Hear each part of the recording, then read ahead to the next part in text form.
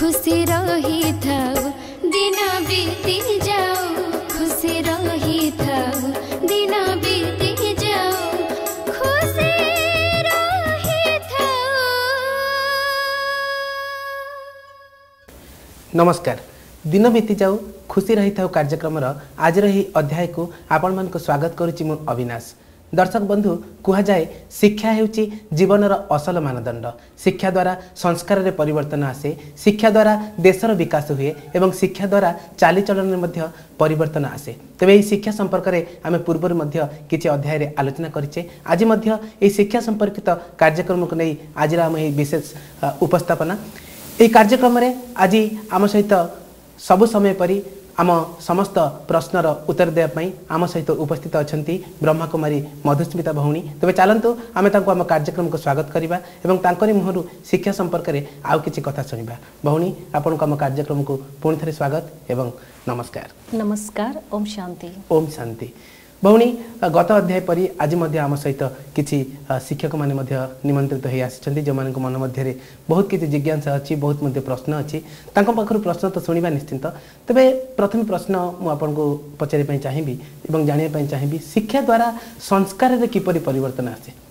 ଟିକେ ବିସ୍ତାରିତ ଭାବରେ କୁହନ୍ତୁ। ପ୍ରତ୍ୟେକ ମାନବ ଅ, ସଂସ୍କାରଯୁକ୍ତ। ଆମର ସଂସ୍କାର ଆମର ବିଚାର ଏବଂ ଆମର ବୁଦ୍ଧି ଦ୍ୱାରା ସେ ପରିମାର୍ଜିତ ହୁଏ ଏବଂ ତାହା ଦ୍ୱାରା ତିଆରି ହୋଇଥାଏ। ଆଚ୍ଛା। ଆମର ମନ ଯାହା ଅଛି ଆମର ବୁଦ୍ଧି ଯାହା ଅଛି ମନରେ ଯାହା ବିଚାର ଆସିଲା ତାକୁ ବୁଦ୍ଧି ନିର୍ଣ୍ଣୟ କରୁଛି ସେହି ଅନୁସାରେ ସେ ଡିସିସନ୍ ନେଉଛି ଏବଂ ତାକୁ ଆମେ ବାର ବାର କର୍ମରେ ରିପିଟ୍ କରୁଛେ। ଆଜ୍ଞା। ଆମେ ବାର ବାର ସେଇ କର୍ମକୁ କରୁଛେ ଆମେ ତାକୁ ସଂସ୍କାର ବୋଲି କହୁଛେ। ଆଜ୍ଞା। ଯେତେବେଳେ ଭଲ ଶିକ୍ଷା ହେଲେ ଆମେ ମନରେ ଆଣିଲେ ବିଚାରରେ ଆଣିଲେ ତା ପ୍ରତି ଆମେ ନିର୍ଣ୍ଣୟ ରଖିଲେ। ହୁଁ ହୁଁ। ନିର୍ଣ୍ଣୟ ପରେ ଜୀବନର ନିଷ୍ପତ୍ତି ନେଲେ। ଆଜ୍ଞା। ତାକୁ କର୍ମରେ ଆମେ ଆପ୍ଲାଏ କଲେ। ଆଜ୍ଞା। ସେ ସଂସ୍କୃତିରେ ଏବଂ ସଂସ୍କାରରେ ନିଶ୍ଚିତ ଭାବରେ ଟ୍ରାନ୍ସଫର ହେଇଯାଉଛି ପରିବର୍ତ୍ତନ ହେଇଯାଉଛି। ଆଚ୍ଛା। ତେଣୁ ନିଶ୍ଚିତ ଭାବରେ ଆମର ଶ୍ରେଷ୍ଠ ସଂସ୍କାର ପାଇଁ ଶ୍ରେଷ୍ଠ ଶିକ୍ଷାର ଆବଶ୍ୟକତା ରହିଛି। ଯେପରି ଶିକ୍ଷା ସେହିପରି ସଂସ୍କାର। ଯେପରି ଶିକ୍ଷା ସେହିପରି ସଂସ୍କାର। ଠିକ୍ ଅଛି ଆମେ ଦେଖିବାକୁ ପାଇଥାଉ ପୁରୁଣା ଯୁଗରେ ମଧ୍ୟ ଏମିତି ଅନେକ ଅ, ଗୁରୁ ଥିଲେ ଯାହାଙ୍କୁ ଅ, ପୁରା ସମର୍ପଣ ଭାବନାର ସହିତ ଶିଷ୍ୟ ସମର୍ପିତ ହୋଇଯାଉଥିଲେ। ବହୁତ କିଛି ଉଦାହରଣ ଏମିତି ଅଛି କିନ୍ତୁ ଆଜିର ଏହି ଆଧୁନିକ ଯୁଗରେ ଆମେ ଆଦର୍ଶ ଶିକ୍ଷକ ବୋଲି କାହାକୁ କହିବା ବୋଲି ଆପଣ ଭାବୁଛନ୍ତି? କାହାକୁ ଆମେ ଆଦର୍ଶ ବୋଲି ମାନିବା? ଆଦର୍ଶ ଶିକ୍ଷକ ବହୁତ କମ୍ ଦେଖିବା ପାଇଁ ମିଳୁଛି। ତେବେ ଆଦର୍ଶ ଶିକ୍ଷକ ପାଖରେ ଏମିତି କ'ଣ ଗୁଣ ଥିବା ଦରକାର? ଯାହାଦ୍ୱାରା ପ୍ରଭାବିତ ହୋଇ ଗୋଟେ ଶିଷ୍ୟ ଅ, ଉଚିତ ମାର୍ଗରେ ପ୍ରତିପାଦିତ ହୋଇପାରିବ? ଆଜ୍ଞା। ଆଦର୍ଶ ଆମେ ତାକୁ କହିବା ଯେ ନିଜ ଜୀବନ ଚରିତ୍ର ଦ୍ୱାରା ଶିକ୍ଷା ଦେଉଛି ଆଜ୍ଞା ଗୋଟେ ଶ୍ରେଷ୍ଠ ସଂସ୍କାର ତିଆରି କରିବା ପାଇଁ ଶ୍ରେଷ୍ଠ ଶିକ୍ଷାର ଆବଶ୍ୟକତା ରହିଛି ଯେପରି ଆମକୁ ଶିକ୍ଷା ପ୍ରାପ୍ତ ହେଉଛି ସେହି ଅନୁସାରେ ଆମ ସଂସ୍କାରରେ ଆମେ ପରିବର୍ତ୍ତନ ଆଣିପାରୁଛେ ଯେପରି ସୂଚନା ଆମକୁ ପ୍ରାପ୍ତ ହେଉଛି ଯେପରି ଜ୍ଞାନ ଆମକୁ ପ୍ରାପ୍ତ ହେଉଛି ଯାହା ଆମର ବିଲିଫ୍ ସିଷ୍ଟମ୍ ରହିଛି ଯେ ଯେଉଁ କନସେପ୍ଟକୁ ପାଥେ କରି ଆମେ ଜୀବନରେ ଆଗକୁ ବଢ଼ୁଛେ ସେହି ଅନୁସାରେ ସଂସ୍କାର ତିଆରି ହେଉଛି ତ ନିଶ୍ଚିତ ଭାବରେ ଗୋଟେ ବହୁତ ଉନ୍ନତ ମାନର ଗୋଟେ ଶ୍ରେଷ୍ଠ ଶିକ୍ଷା ଜୀବନକୁ ପ୍ରଭାବିତ କରିବ ଏବଂ ତାହା ଦ୍ୱାରା ଗୋଟେ ସୁନ୍ଦର ସଂସ୍କାର ଆମେ ନିର୍ମାଣ କରିପାରିବା। ଆଜ୍ଞା। ତ ମୁଁ ପଚାରିଥିଲି ଆଦର୍ଶ ଶିକ୍ଷକ ସମ୍ପର୍କରେ। ଆଦର୍ଶ ଶିକ୍ଷକ ଆପଣ ଯାହା କହୁଛନ୍ତି ଯେ କିଭଳି ଭାବେ ଗୋଟେ ଆଦର୍ଶ ଶିକ୍ଷକ ପାଖରୁ ଶିକ୍ଷା ମିଳିଲେ ଗୋଟେ ଛାତ୍ର ଠିକ୍ ଭାବରେ ଏକାଗ୍ରତା ଆଣିପାରିବ ତା ମନ ଭିତରେ ତା ସଂସ୍କାରରେ ପରିବର୍ତ୍ତନ ଆଣିପାରିବ ବିଶେଷ କରି ଏକାଗ୍ରତା କିଭଳି ହାସଲ କରିପାରିବ ଗୋଟେ ଶିକ୍ଷକର ଏମିତି କ'ଣ ଆଚରଣ ହେଲେ କିଭଳି ଶିକ୍ଷା ପ୍ରାପ୍ତ ଅ, ଗୋଟେ ଛାତ୍ର ପାଇଲେ ଏକାଗ୍ରତା ମନ ଭିତରେ ଆସିପାରିବ ଆଜ୍ଞା ଆମେ ପିଲାଙ୍କୁ ଯାହା ଦେଉଛେ ସେ ହେଉଛି ଇନଫର୍ମେସନ୍ ଆଜ୍ଞା। ଯାହା ବହିରେ ଲିପିବଦ୍ଧ ରହିଛି। That may be about the history that may be about the geography or science and technology ଆଜ୍ଞା। ତ ଯାହା ବି ରହିଛି ଲିପିବଦ୍ଧ ରହିଛି ଆମେ ତାକୁ ଇନଫର୍ମେସନ୍ ସେଇ ଇନଫର୍ମେସନ୍ଟାକୁ ପିଲା ପାଖରେ ପହଞ୍ଚାଉଛେ। କିନ୍ତୁ ଯେଉଁ ପଏଣ୍ଟକୁ ଅଣ୍ଡରଲାଇନ୍ କରିବାକୁ ଅଛି ତାହା ହେଉଛି ଜୀବନର ମୂଲ୍ୟବୋଧ। ତାକୁ ଆମେ ଜ୍ଞାନ ବୋଲି କହୁଛେ। ସେଇ ଜ୍ଞାନ ଆମର ଆଚରଣରେ ଆମର ଜୀବନରେ ଆମର କର୍ମେନ୍ଦ୍ରିୟରେ ଆମର ଆନ୍ତରିକ ଶକ୍ତି ଏ ଶରୀରରେ ଏବଂ ବାତାବରଣରେ ତାର ଗୋଟେ ପ୍ରକାଶ ରହିବା ଦରକାର। ଯେମିତି ଦୃଷ୍ଟିରେ ଶୀତଳତା ମୁଖରେ ମଧୁରତା ଏବଂ ସତ୍ୟତା। ସତ୍ୟ କଥା କହିବା କିନ୍ତୁ ମଧୁରତାର ସହିତ କହିବା। କାହାକୁ ଦେଖିବା କିନ୍ତୁ ପବିତ୍ର ଦୃଷ୍ଟି ଏବଂ ଶୀତଳ ଦୃଷ୍ଟିରେ ଦେଖିବା। ପିଲାମାନଙ୍କ ପ୍ରତି ସେଇ ଭାବ ରହିବ ଏବଂ ଆମର ଲଲାଟରେ ଆମର ଭ୍ରୁକୁଟିରେ ସେମିତି ତେଜ ରହିବ ସେମିତି କନଫିଡେନ୍ସ ରହିବ ସେ ସ୍ପିରିଟ୍ ରହିବ। ଆମର ଭାଇବ୍ରେସନରେ ଗୋଟେ ବହୁତ ସକାରାତ୍ମକ ବାତାବରଣ ରହିବ ଆମର ଗୋଟେ ବହୁତ ପ୍ରଭାବଶାଳୀ ବ୍ୟକ୍ତିତ୍ୱର ଗୋଟେ ପ୍ରଭାବ ରହିବ। ଏବଂ ଆମର ପ୍ରତ୍ୟେକ କର୍ମରେ ଦୃଢ଼ତା ରହିବ।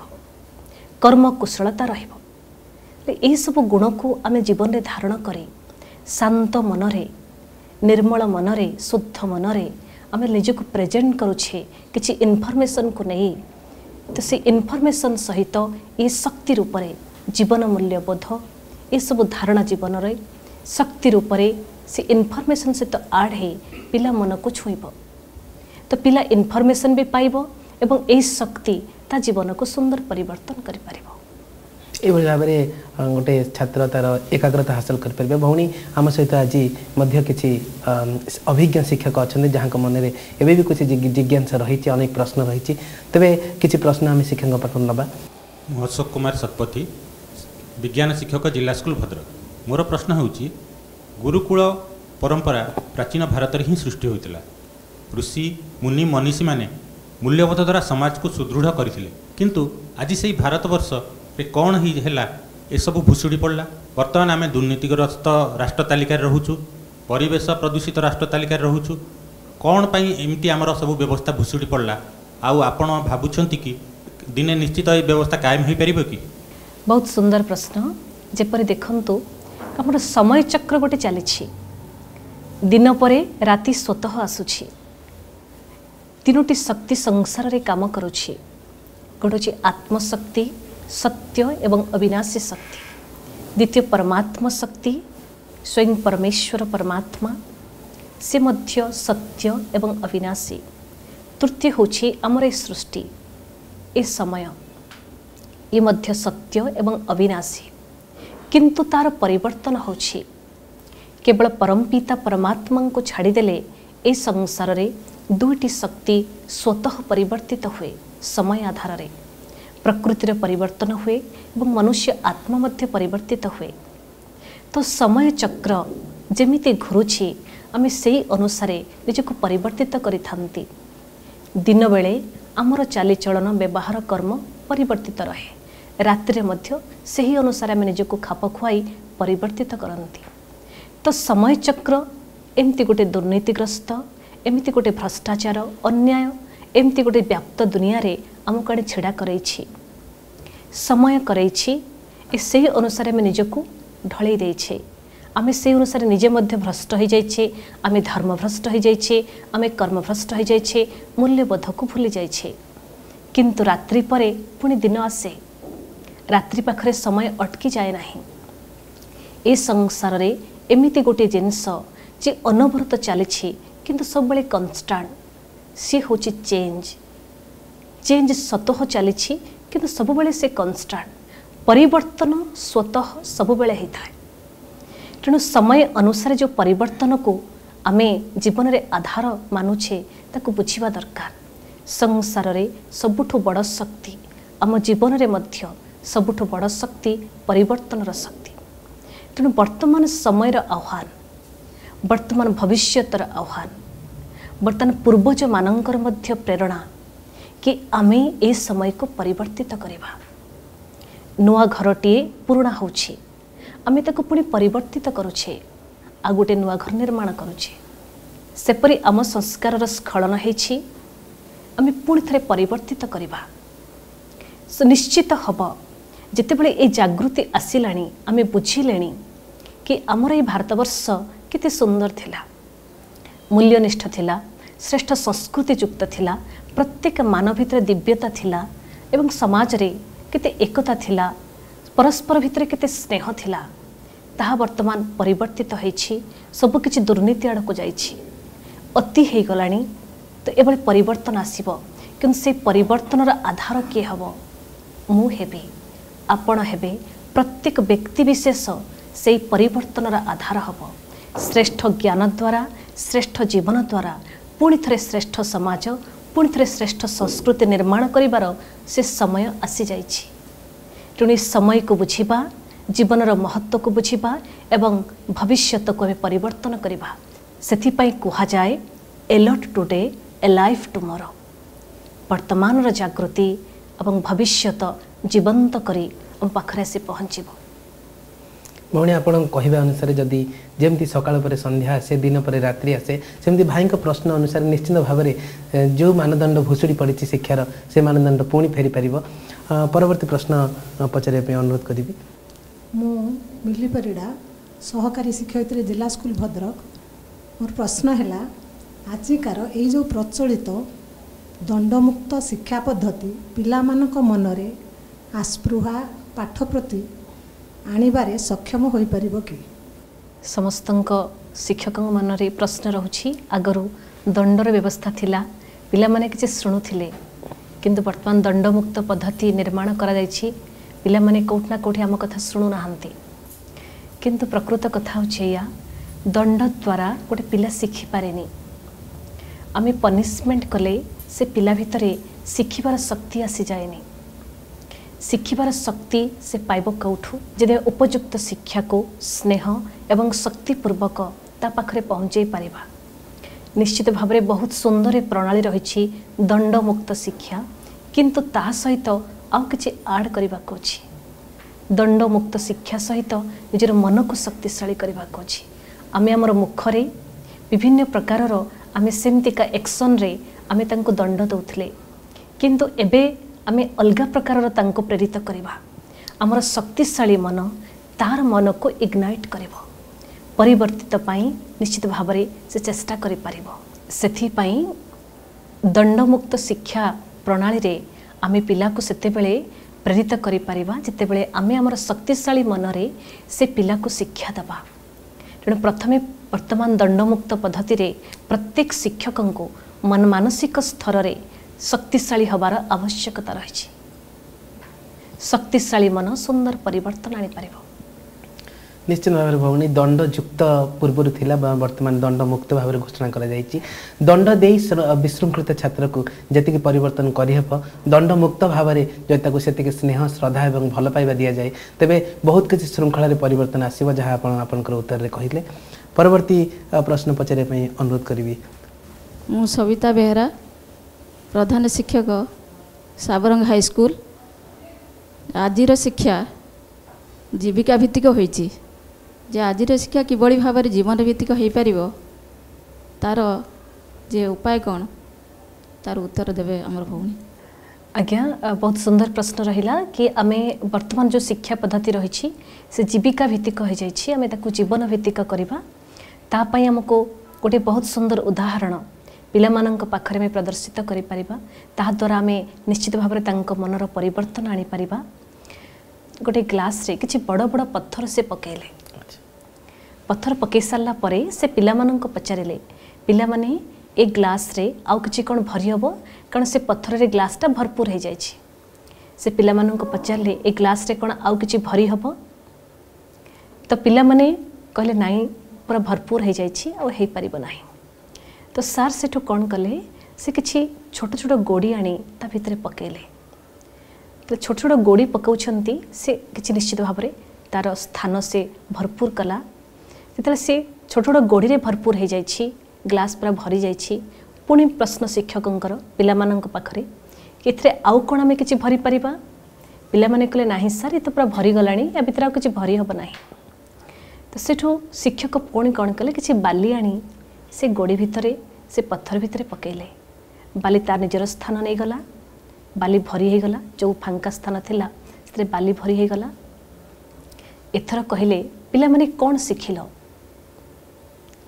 ଆମର ଶିକ୍ଷା ପଦ୍ଧତି ସେଇଆ ଯାହା ବି ହେଇଥାଉ ନା କାହିଁକି? କିନ୍ତୁ ଆମେ ସୁନ୍ଦର ଉଦାହରଣ ଦ୍ୱାରା ପିଲାମାନଙ୍କୁ ସେହି ଶିକ୍ଷା ଭିତରେ ଆମେ ତାଙ୍କୁ ଜୀବନଶୈଳୀ ବୁଝାଇ ପାରିବା ଜୀବନର ମୂଳ ଆବଶ୍ୟକତାକୁ ବୁଝାଇ ପାରିବା ଜୀବିକା ଭିତ୍ତିକ ଶିକ୍ଷାରେ ଆମେ ଜୀବନ ନିର୍ମାଣ କରିପାରିବା। କିପରି ହେବ ତାଙ୍କୁ ବୁଝେଇବାକୁ ଅଛି ଆମେ ଆମ ଜୀବନର ଯେତେବେଳେ ମୂଳ ଉଦ୍ଦେଶ୍ୟକୁ ଧରୁଛେ ମୂଳ ଲକ୍ଷ୍ୟକୁ ସବୁବେଳେ ଧରି ଚାଲିଛେ ଆଉ ସବୁ ଲକ୍ଷ୍ୟ ଆଉ ସବୁ ଆବଶ୍ୟକତା ସ୍ୱତଃ ଭରିଯାଉଛି ସ୍ୱତଃ ପୂର୍ଣ୍ଣ ହୋଇଯାଉଛି। ଯେପରି ଗ୍ଲାସ୍ରେ ବଡ଼ ବଡ଼ ପଥର ଭରିଗଲେ ଆଉ ସବୁ ଛୋଟ ଛୋଟ ଗୋଡ଼ି ବାଲି ଏସବୁ ସ୍ୱତଃ ତା ସ୍ଥାନ ନେଇଯାଉଛି।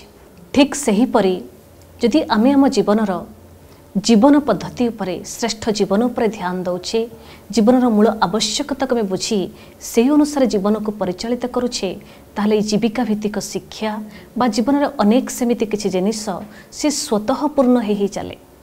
ହେଲେ ଏହି ମୂଳ ଉଦ୍ଦେଶ୍ୟକୁ ଆମେ ପିଲାକୁ ବୁଝାଇ ପାରିବା ଆମେ ନିଜେ ଅନୁଭବ କରିପାରୁଥିବା ତାହେଲେ ସେଇ ଜୀବିକା ଶିକ୍ଷାରେ ଜୀବନ ନିର୍ମାଣ କରି ହେଇପାରିବ ସତରେ ଭଉଣୀ ବହୁତ ସୁନ୍ଦର ଉଦାହରଣ ଦେଇ ଆପଣ ବୁଝେଇଲେ ଯଦି ଅ, କୌଣସି ଛାତ୍ରଙ୍କ ମନ ଭିତରେ ଖାଲି ଜାଗା ଅଛି ସେବେ ଖାଲି ଜାଗାକୁ ପ୍ରଥମେ ଭରିବା ଦରକାର ଜ୍ଞାନ ଦ୍ୱାରା ତେବେ ଯାଇ ସେ ଛାତ୍ର ବହୁତ ଆଗକୁ ଯାଇପାରିବ ଏବଂ ଶୃଙ୍ଖଳିତ ଛାତ୍ର ଭାବେ ପରିଗଣିତ ହେବ। ତେବେ ଯିବା ପରବର୍ତ୍ତୀ ପ୍ରଶ୍ନ ପାଇଁ ପରବର୍ତ୍ତୀ ପ୍ରଶ୍ନ ପାଇଁ ଅନୁରୋଧ କରିବି। ମୁଁ ଶୁଭଶ୍ରୀ ପାଣିଗ୍ରାହୀ ପାଳିଆ ଗାର୍ଲସ ସ୍କୁଲ ଗାର୍ଲସ ହାଇସ୍କୁଲର ଶିକ୍ଷୟିତ୍ରୀ। ମୋର ପ୍ରଶ୍ନ ଆତ୍ମକୈନ୍ଦ୍ରିକ ଶିକ୍ଷା କହିଲେ କ'ଣ ବୁଝୁ? ଆମର ଦୁଇ ପ୍ରକାରର ଶିକ୍ଷା ରହୁଛି। ଗୋଟେ ହେଉଛି ଆମର ଭୌତିକ ଶିକ୍ଷା ଆଉ ଗୋଟେ ହେଉଛି ଆଧ୍ୟାତ୍ମିକ ଶିକ୍ଷା। ବର୍ତ୍ତମାନ ଆମେ ସଂସାରରେ ପ୍ରତ୍ୟେକ ସ୍କୁଲ କଲେଜରେ ଯେଉଁ ଶିକ୍ଷା ଦିଆଯାଉଛି ତାକୁ ଭୌତିକ ଶିକ୍ଷା କୁହାଯାଉଛି। ଯେଉଁଠି ଆତ୍ମା ବିଷୟରେ ଅଧ୍ୟୟନ କରାଯାଉଛି ତାକୁ ଆମେ ଆଧ୍ୟାତ୍ମିକ ଶିକ୍ଷା କହୁଛୁ। ସେଥିପାଇଁ ଆମର ଈଶ୍ୱରୀ ବିଶ୍ୱବିଦ୍ୟାଳୟ ଏକ ଆଧ୍ୟାତ୍ମିକ ଶିକ୍ଷା କେନ୍ଦ୍ର। ତେଣୁ ଭୌତିକ ଶିକ୍ଷାରେ ଆମେ ଆଧ୍ୟାତ୍ମିକ ଶିକ୍ଷାକୁ ସାମିଲ କରିପାରିବା ଯଦି ବୁଝିଥିବା। ତା ପାଇଁ ଅଲଗା ସମୟର ଆବଶ୍ୟକତା ନାହିଁ। ସେଥିପାଇଁ ଅଲଗା କିଛି କୋର୍ସେସ୍ର ଆବଶ୍ୟକତା ନାହିଁ। କିନ୍ତୁ ତା ପୂର୍ବରୁ ଆମକୁ ଏ ବିଦ୍ୟାଳୟକୁ ଆସି ବୁଝିବା ଦରକାର ଅଛି। ଆତ୍ମା ବିଷୟରେ ଅଧ୍ୟୟନ କରିବା ହେଉଛି ଆଧ୍ୟାତ୍ମିକତା। ସେ ଅନୁସାରେ ଯେତେବେଳେ ଆମେ ଆତ୍ମା ବିଷୟରେ ସମ୍ପୂର୍ଣ୍ଣ ଜ୍ଞାନ ଆହରଣ କରୁଛେ ଆଉ ସେ ଆତ୍ମା ହିଁ ଶିକ୍ଷା ଗ୍ରହଣ କରୁଛି ତ ସେଇଟା ହେବ ଆତ୍ମକୈନ୍ଦ୍ରିକ ଶିକ୍ଷା। କ'ଣ ସେ ଆଧ୍ୟାତ୍ମିକ ଶିକ୍ଷା? ସେ ଆଧ୍ୟାତ୍ମିକ ଶିକ୍ଷା ହେଉଛି ଏଇଆ ନିଜ ଭିତରେ ଥିବା ସେ ଶକ୍ତି। ଯେ ସବୁ କିଛି କରୁଛି। ଆମେ ପାଠ ବି ପଢ଼ୁଛେ ଆତ୍ମା ହିଁ ପଢ଼ୁଛି। ଆତ୍ମା ଯଦି ଶରୀରରୁ ମୁକ୍ତ ହୋଇଯାଉଛି ଏ ଶରୀର ଶିକ୍ଷା ନେଇପାରିବ ନାହିଁ। ଚାहे ଆମର ବ୍ରେନ୍ ରୂପୀ ମେମୋରି କେତେ ବଡ଼ ହେଇଥାଉ ନା କାହିଁକି? କିନ୍ତୁ ପାଠ ପଢ଼ୁଛି ଆତ୍ମା। ସେହି କଥାକୁ ଜାଣିବା ଆତ୍ମା ହିଁ ସବୁ କିଛି କର୍ମ କରୁଛି ଆତ୍ମା ହିଁ ଆଖି ଦ୍ୱାରା ଦେଖୁଛି ଆତ୍ମା ହିଁ କାନ ଦ୍ୱାରା ଶୁଣୁଛି ଆତ୍ମା ହିଁ ମୁଖ ଦ୍ୱାରା କଥା କହୁଛି ଆତ୍ମା ହିଁ କର୍ମେନ୍ଦ୍ରିୟ ଦ୍ୱାରା ଭିନ୍ନ ଭିନ୍ନ କର୍ମ କରୁଛି। ଆତ୍ମା କାର୍ଯ୍ୟ ବ୍ୟବହାରରେ ଆତ୍ମା ହିଁ ଆସୁଛି। ସେ ଆତ୍ମାକୁ ଆମେ ଭଲ ଭାବରେ ବୁଝିପାରୁଛେ ଆତ୍ମା କର୍ତ୍ତା ରୂପରେ କିପରି ଜୀବନକୁ କଣ୍ଟ୍ରୋଲ କରୁଛି ଜୀବନକୁ କେମିତି ପରିଚାଳିତ କରୁଛି ତାକୁ ବୁଝି କର୍ମ କରିବା ହେଉଛି ଆତ୍ମକୈନ୍ଦ୍ରିକ ଶିକ୍ଷା। ପିଲାମାନଙ୍କୁ ସେ ବିଷୟରେ ଅବଗତ କରାଇବା ତା'ର ଗଭୀରତାକୁ ଯିବା ତାଙ୍କୁ ଅନୁଭବ କରାଇବା ତ ତାହେଲେ ଆମେ ଆମର ଶିକ୍ଷାକୁ ମୂଲ୍ୟନିଷ୍ଠ କରିପାରିବା। ସତରେ ଭଉଣୀ ଆପଣ ଯେଉଁ ଆଧ୍ୟାତ୍ମିକତା କଥା କହିଲେ ଆପଣ କହୁଛନ୍ତି ଆତ୍ମାର ଶିକ୍ଷା ହିଁ ଆଧ୍ୟାତ୍ମିକତା ଶିକ୍ଷା। ଆମ କାର୍ଯ୍ୟକ୍ରମ ଆଜି ଅନେକ ଦର୍ଶକ ବନ୍ଧୁ ଦେଖୁଥିବେ ଟିଭି ସ୍କ୍ରିନ୍ରେ ମଧ୍ୟ ଅନେକ ଶିକ୍ଷକମାନେ ମଧ୍ୟ ଦେଖୁଥିବେ। ତେବେ ଯେଉଁ ଆତ୍ମଜ୍ଞାନ କଥା କହୁଛନ୍ତି ଏଇଠି ଯଦି ଟିକେ ସମ୍ୟକ ସୂଚନା ଦିଅନ୍ତେ ଆତ୍ମଜ୍ଞାନ ପାଇବେ କେମିତି ଏବଂ ଅ, କୋଉଠି ଯାଇ ପାଇପାରିବେ? ଟିକେ ଯଦି କୁହନ୍ତେ ତେବେ ବହୁତ ଦର୍ଶକ ଭାଇ ଉପକୃତ ହୋଇପାରନ୍ତେ ଏବଂ ଅନେକ ଶିକ୍ଷକ ଯେଉଁମାନେ କି ସେମାନେ ଦେଖୁଛନ୍ତି ସେମାନେ ମଧ୍ୟ ଉପକୃତ ହୋଇପାରନ୍ତେ। ଆମେ ଆତ୍ମଜ୍ଞାନ ତାକୁ କହିବା ଯାହାଦ୍ୱାରା ଆମ ଜୀବନରେ ଭ୍ୟାଲ୍ୟୁଜ୍ ଆସୁଛି ଭଲ ଗୁଣ ଆସୁଛି। ତ ତାକୁ ତାହା ଦ୍ୱାରା ଆମ ଜୀବନ ଅତି ପ୍ରଭାବଶାଳୀ ହେଉଛି ମୂଲ୍ୟବାନ ହେଉଛି ଜୀବନ ଚରିତାର୍ଥ ହେଉଛି ଜୀବନରେ ସନ୍ତୁଷ୍ଟତା ଆସୁଛି ଜୀବନ ସମ୍ପୂର୍ଣ୍ଣ ବୋଲି ଅନୁଭବ ହେଉଛି। ତାହା ଆଜି ପ୍ରଜାପିତା ବ୍ରହ୍ମାକୁମାରୀ ଈଶ୍ୱରୀୟ ବିଶ୍ୱବିଦ୍ୟାଳୟ ଅଶୀ ବର୍ଷ ଧରି ବର୍ତ୍ତମାନ ବହୁତ ଖୁସିର କଥା ସାରା ବିଶ୍ୱରେ ଆପଣ ଯେକୌଣସି ସ୍ଥାନରେ ଯିବେ ପାଞ୍ଚ କିଲୋମିଟର ଡିଷ୍ଟାନ୍ସରେ ଆପଣ ବିଦ୍ୟାଳୟଟି ନିଶ୍ଚିତ ପାଇବେ। ଆଜି ପାଞ୍ଚଟି ମହାଦେଶରେ ଆଜି ଶହେ ବୟାଳିଶଟି ଦେଶରେ ନଅ ହଜାର ବ୍ରାଞ୍ଚେସ୍ ଖୋଲା ହେଇଛି ଏବଂ ସେଠି ଆଧ୍ୟାତ୍ମିକ ଶିକ୍ଷା ଦିଆଯାଉଛି ଯେ ଜୀବନକୁ ଅତି ଶ୍ରେଷ୍ଠ ସୁନ୍ଦର କରିବା ପାଇଁ ଜୀବନରେ ମୂଲ୍ୟବୋଧକୁ ଧାରଣ କରିବା ପାଇଁ ଏବଂ ତାହାପରେ କର୍ମକ୍ଷେତ୍ରକୁ ଆସିବା ପାଇଁ ଆଜ୍ଞା ତ ସେଥିପାଇଁ ଆମର ସମସ୍ତ ଭାଇ ଭଉଣୀମାନଙ୍କୁ ନିଶ୍ଚିତ ଭାବରେ ପ୍ରଥମେ ବିଦ୍ୟାଳୟ ସହିତ ଟିକେ ଯୋଡ଼ିବାକୁ ପଡ଼ିବ ଏ ଶିକ୍ଷା କ'ଣ ବୁଝିବାକୁ ପଡ଼ିବ ତାପରେ ତାଙ୍କର ଯେଉଁ ଲକ୍ଷ୍ୟ ରହୁଛି ନିଜ ଜୀବନକୁ ନେଇ ସମାଜରେ ଏବଂ ପରିବାରକୁ ନେଇ ନିଶ୍ଚିତ ଭାବରେ ତା ପୂର୍ଣ୍ଣ ହୋଇପାରିବ ଆଜ୍ଞା ନିଶ୍ଚିନ୍ତ ଯେଉଁମାନେ ଆତ୍ମାର ଜ୍ଞାନ ଏବଂ ଆଧ୍ୟାତ୍ମିକତା ଜ୍ଞାନ ହାସଲ କରିବାକୁ ଚାହୁଁଥିବେ ଆପଣଙ୍କ କହିବା ଅନୁସାରେ ନିକଟରେ ଯେଉଁଠି ବ୍ରହ୍ମାକୁମାରୀ ଈଶ୍ୱର ବିଶ୍ୱବିଦ୍ୟାଳୟ ଯା- ଦିଆ ଅଛି ସେଠାରେ ହିଁ ଶିକ୍ଷାଦାନ ଦିଆଯାଉଛି ଏବଂ ସେଠାରେ ସେମାନେ ଆଜ୍ଞା। ଶିକ୍ଷା ଲାଭ କରିପାରିବେ ଏବଂ ତତ୍ସହିତ ଆଜିକାଲି ଆମର ଟିଭି ଚ୍ୟାନେଲ୍ସରେ ମଧ୍ୟ ପ୍ରୋଗ୍ରାମ ସବୁ ଆସୁଛି ଆଜ୍ଞା। ଆମର ଯେଉଁ ଏବେ ପିସ୍ ଅଫ୍ ମାଇଣ୍ଡ ଗୋଟେ ସୁନ୍ଦର ଚ୍ୟାନେଲ୍ ଆଜ୍ଞା। ଯାହାଦ୍ୱାରା ସାରା ବିଶ୍ୱରେ ସମସ୍ତେ ଦେଖିପାରୁଛନ୍ତି ତା ମଧ୍ୟ ଆପଣ ସେଥିରେ ଦେଖିପାରିବେ ଆଜି ଓଡ଼ିଆ ଚ୍ୟାନେଲ୍ସ ମାନଙ୍କରେ ମଧ୍ୟ ସାମିଲ ହେଲାଣି କିଛି କିଛି ପ୍ରୋଗ୍ରାମ ଆଜ୍ଞା। ଆଜି ଓ ଟିଭିରେ ଇ ଟିଭିରେ ମଧ୍ୟ ଆସୁଛି ସଂସ୍କାର ଚ୍ୟାନେଲରେ ଆସୁଛି ଆଜ୍ଞା ତେଣୁ ଯେଉଁମାନେ ଚାହିଁବେ ଇଣ୍ଟରନେଟ୍ର ଦୁନିଆ ଇଣ୍ଟରନେଟ୍ରୁ ମଧ୍ୟ କିଛି ବାହାର କରିପାରିବେ କ୍ଲାସେସ୍ ବାହାର କରିକି ଦେଖିପାରିବେ ବ୍ରହ୍ମାକୁମାରୀ ଯେଉଁ ଶିକ୍ଷା ଉପରେ ଅବଗତ ହୋଇପାରିବେ ଆଜ୍ଞା। କିନ୍ତୁ ସବୁଠୁ ଭଲ ହେବ ପ୍ରଥମେ ଆସି ତା ଯେଉଁ ଫଣ୍ଡାମେଣ୍ଟାଲ ଯେଉଁ କୋର୍ସ ତାକୁ ପ୍ରଥମେ ବୁଝିବା ଦରକାର ଅଛି ହୁଁ।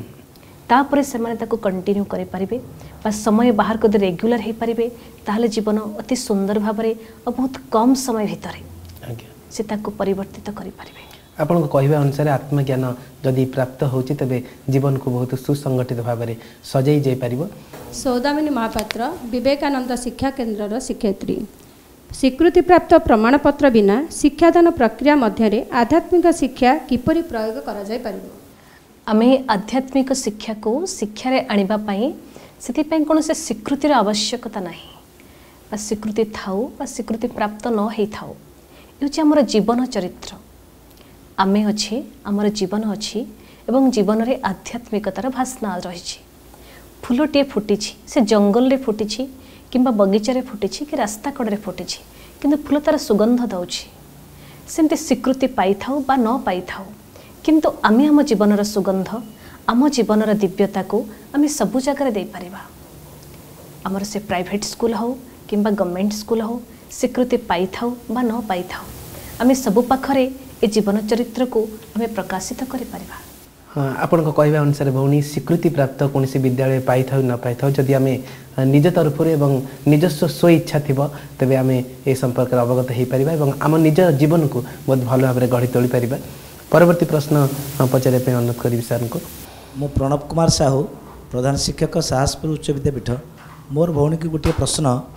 ଆଜି ଭାରତବର୍ଷ ବା ଓଡ଼ିଶାରେ ଯେଉଁ ଶିକ୍ଷକ ନିଯୁକ୍ତି କରାଯାଉଛି ସେ ନିଯୁକ୍ତି ସେମାନଙ୍କର ସାର୍ଟିଫିକେଟ୍ ଏବଂ ମାର୍କ ଦେଖି ସେମାନଙ୍କୁ ନିଯୁକ୍ତି କରାଯାଉଛି। ତେଣୁ ଯୁଗେ ଯୁଗେ ତ ପ୍ରତ୍ୟେକ ବିଭାଗରେ ଯଥା ଶିକ୍ଷା ବିଭାଗରେ କିଛି ଶିକ୍ଷକ ବା ଗୁରୁ ଅଛନ୍ତି ଯେଉଁମାନଙ୍କର ମୂଲ୍ୟବୋଧ ଭିତ୍ତିକ ଶିକ୍ଷା ଅଛି ସେମାନେ ମଧ୍ୟ ସମ୍ମାନ ପାଆନ୍ତି ଶିଷ୍ୟମାନଙ୍କ ଠାରୁ କିନ୍ତୁ ଯେଉଁ ଶିକ୍ଷକମାନେ କେବଳ ବେତନ ପାଇଁ ସେମାନେ ଚାକିରି କରିଛନ୍ତି ସେମାନଙ୍କ ପାଖରୁ କିଭଳି ମୂଲ୍ୟବୋଧ ଭିତ୍ତିକ ଶିକ୍ଷା ମିଳିପାରିବ ବା ସେମାନେ କିଭଳି ଛାତ୍ରମାନଙ୍କୁ ଆଜି ଆଜିକାଲିର ଯେଉଁ ବିଶୃଙ୍ଖଳିତ ଛାତ୍ରମାନଙ୍କୁ ମୁଖ୍ୟ ସ୍ରୋତକୁ ଆଣିବେ ଏବଂ ମୂଲ୍ୟବୋଧ ଜୀବନଧାରା ବିଷୟରେ ବୁଝେଇବେ ଏକଥା କେମିତି ହେଇପାରିବ? ଦୟାକରି ଭଉଣୀ ମୋତେ ଏ ବିଷୟରେ କହିବେ କି? ବହୁତ ସୁନ୍ଦର ପ୍ରଶ୍ନଟି। ସମସ୍ତଙ୍କୁ ଏ ବିଷୟରେ ଜାଣିବାର ଆବଶ୍ୟକତା ରହିଛି।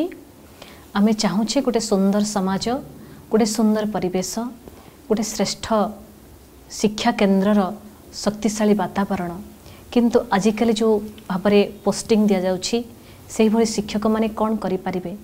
ଆଗରୁ ଶିକ୍ଷକମାନଙ୍କ ଭିତରେ ମୂଲ୍ୟବୋଧ କିଛି ରହୁଥିଲା ବର୍ତ୍ତମାନ ରହୁନାହିଁ।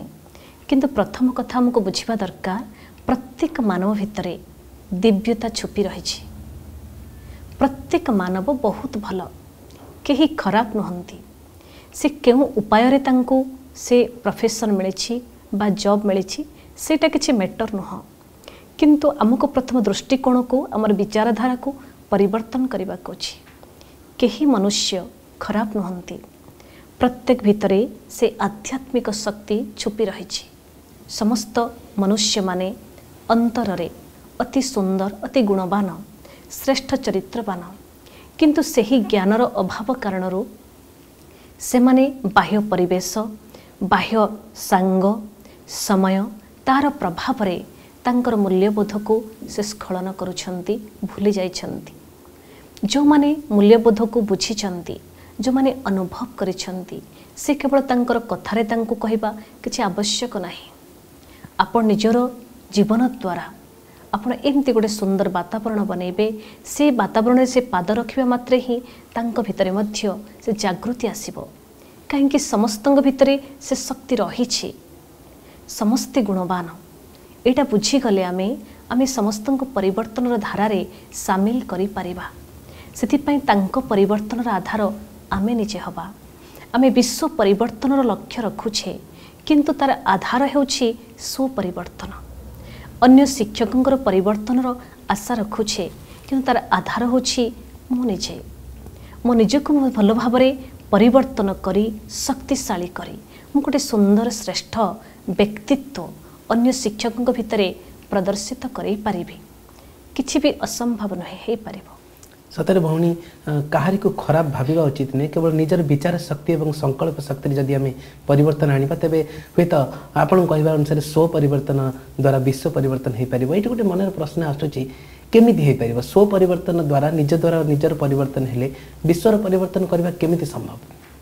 ସେଥିପାଇଁ ଦେଖନ୍ତୁ ଆମର ସୁନ୍ଦର ରାଷ୍ଟ୍ର ନିର୍ମାଣ କରିବା ପାଇଁ ଆମର ସର୍ବପଲ୍ଲୀ ରାଧାକ୍ରିଷ୍ଣନ କହିଛନ୍ତି nation is built in the classroom not in the parliament ହୁଁ ହୁଁ ରାଷ୍ଟ୍ର କହିଲେ ଆମେ ପାର୍ଲିଆମେଣ୍ଟକୁ ଦେଖୁଛେ ଆଜ୍ଞା। କିନ୍ତୁ ପ୍ରକୃତ ରାଷ୍ଟ୍ର ନିର୍ମାଣର ଆଧାର ହେଉଛି ଭୂମି ହେଉଛି ଗୋଟେ କ୍ଲାସରୁମ୍ ଆଜ୍ଞା ଠିକ୍ ସେହିପରି ଆମେ ଗୋଟେ ସୁନ୍ଦର ବିଶ୍ୱ ଚାହୁଁଛେ ଶ୍ରେଷ୍ଠ ବିଶ୍ୱ ଚାହୁଁଛେ କିନ୍ତୁ ତାର ଆଧାର ହେଉଛି ମୋ ନିଜର ବ୍ୟକ୍ତିତ୍ୱ ହୁଁ ହୁଁ ହେଲେ ପ୍ରତ୍ୟେକ ବ୍ୟକ୍ତି ନିଜକୁ ସେ ନିଜକୁ ସେ ଆଧାର ବୋଲି ଭାବି ନେବ ଆଜ୍ଞା ନିଜକୁ କାରଣ ବୋଲି ଭାବି ନେବ ତାହେଲେ ନିଶ୍ଚିତ ତା ଭିତରେ ପରିବର୍ତ୍ତନ ସେ କରିବ।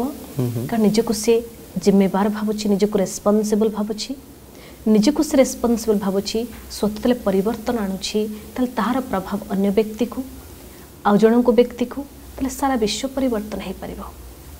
ଏହିପରି ଭାବରେ ସ୍ୱ ପରିବର୍ତ୍ତନ ଦ୍ୱାରା ବିଶ୍ୱ ପରିବର୍ତ୍ତନ ଯେତେ ହେଇ- ପର୍ଯ୍ୟନ୍ତ ଆମେ ସେ ପରିବର୍ତ୍ତନ ନ ଆଣିଛେ ସେତେ ପର୍ଯ୍ୟନ୍ତ ଆମେ ଜାଣିପାରିବା ନାହିଁ ଏ ପରିବର୍ତ୍ତନର ଧାରାଟା କ'ଣ? ପ୍ରଥମେ ମୋତେ ନିଜେ ଏକ୍ସପେରିମେଣ୍ଟ କରିବାକୁ ଅଛି ନିଜ ପାଖରୁ। ଆମେ ସବୁବେଳେ ଏକ୍ସପେରିମେଣ୍ଟ ଅନ୍ୟମାନଙ୍କ ପାଖରେ କରନ୍ତି। ପିଲାମାନଙ୍କ ପାଖରେ ଦେଖନ୍ତି ପରିବାରରେ ଦେଖନ୍ତି ପତ୍ନୀଙ୍କ ପାଖରେ ଦେଖନ୍ତି ପିଲାଛୁଆଙ୍କ ପାଖରେ ଦେଖନ୍ତି ସମାଜରୁ ଏକ୍ସପେକ୍ଟ କରୁଛେ। କିନ୍ତୁ ଏବେ ଗୋଟେ ନୂଆ ରୂପରେ ଏ ପରିବର୍ତ୍ତନ ଧାରାକୁ ଆଣିବା। ପ୍ରଥମେ ଆମେ ଆପ୍ଲାଏ କରିବା ନିଜ ପାଖରେ। ଯେଉଁ ବିଚାର ଆମେ ଅନ୍ୟମାନଙ୍କୁ ଦେଉଛେ ସେ ବିଚାର ଆମେ ନିଜେ ଅନୁଭବ କରିବା। ଯାହା ଆମେ ଅନ୍ୟମାନଙ୍କୁ କହୁଛେ ତାହା ଆମେ ନିଜେ ପ୍ରଥମେ ଅନୁଭବ କରିବା। ତାହେଲେ ଦେଖନ୍ତୁ କେତେ ସୁନ୍ଦର ଭାବରେ ଆପଣଙ୍କ ଜୀବନର ଏ ପରିବର୍ତ୍ତନ ଶକ୍ତି ଆପଣଙ୍କ ଚତୁଃପାର୍ଶ୍ୱକୁ ପରିବର୍ତ୍ତିତ କରୁଛି। ଭଉଣୀ ଆପଣଙ୍କର କହିବା ଅନୁସାରେ କାହାରିକୁ ଦୋଷାରୋପ ନ କରି ଯଦି ଆମେ ନିଜଠାରେ ବହୁତ ପରିବର୍ତ୍ତନ ଆଣିବା ତେବେ ଏ ବିଶ୍ୱର ପରିବର୍ତ୍ତନ ନିଶ୍ଚିନ୍ତ ସମ୍ଭବ। ତେବେ ଭଉଣୀ ଆଜି ଯେଉଁ ପ୍ରଶ୍ନ ସବୁ ରଖିଥିଲେ ଆମ ଅଭିଜ୍ଞ ଶିକ୍ଷକମାନେ ତାର ଆପଣ ସୁନ୍ଦର ଓ ଉଦାହରଣ ଦେଇ ଆପଣ ବହୁତ ସୁନ୍ଦର ଭାବରେ ତାକୁ ବିସ୍ତାରିତ ଭାବରେ ବର୍ଣ୍ଣନା କଲେ। ଆଜିର କାର୍ଯ୍ୟକ୍ରମର ସମୟର ଇସାରା ଆସିଗଲାଣି। आम कार्यक्रम को बहुत मूल्यवान समय दे जो शिक्षक मैंने आज आम ग्रहण उपस्थित थे मूल्यवान समय आम सहित अतिवाहित करती आपण मानक बहुत बहुत धन्यवाद भौणी शेष में आपंकर मूल्यवान समय दे आम कार्यक्रम को आसी शिक्षा संपद में एत सुंदर तथ्य आप प्रदान कले से आम कार्यक्रम तरफ़ बहुत बहुत धन्यवाद एवं नमस्कार ନମସ୍କାର ଓମ୍ ଶାନ୍ତି ଓମ୍ ଶାନ୍ତି ଦର୍ଶକ ବନ୍ଧୁ ଆଜିର କାର୍ଯ୍ୟକ୍ରମର ସମୟ ସରିଯାଇଛି। ଆଜି କାର୍ଯ୍ୟକ୍ରମର ଯେଉଁ ବିଷୟବସ୍ତୁ ଶିକ୍ଷା ସମ୍ପର୍କରେ ଥିଲା ଆମେ ଆଶା କରିବୁ ଆପଣଙ୍କୁ ଆମ କାର୍ଯ୍ୟକ୍ରମ ନିହାତି ଭଲ ଲାଗିଥିବ। ତେବେ ପୁଣି ଏକ କାର୍ଯ୍ୟକ୍ରମରେ ଏକ ନୂଆ ବିଷୟକୁ ଉପସ୍ଥାପନ କରିବାର ପ୍ରତିଶ୍ରୁତି ଦେଇ ଆଜିର କାର୍ଯ୍ୟକ୍ରମକୁ ଆମେ ଏଇଠି ରଖୁଛୁ। ବିଦାୟ ଦିଅନ୍ତୁ। ନମସ୍କାର।